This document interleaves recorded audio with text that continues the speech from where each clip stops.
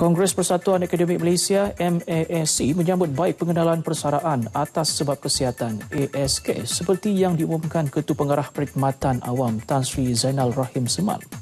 Presidennya Profesor Dato Dr. Muhammad Idrus Muhammad Masirin berkata, sekiranya ia dilaksanakan, ia dilihat mampu menjaga kebajikan bakal pesara.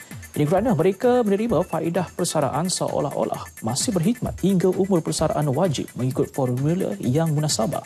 Dia mengulas kenyataan Tan Sri Zainal yang berkata bakal pesara ASK dengan faedah persaraan yang lebih baik akan diperkenalkan mulai April ini bagi penjahat awam yang bersara awal kerana tidak berupaya menjalankan kewajipan akibat kelemahan akal atau tubuh.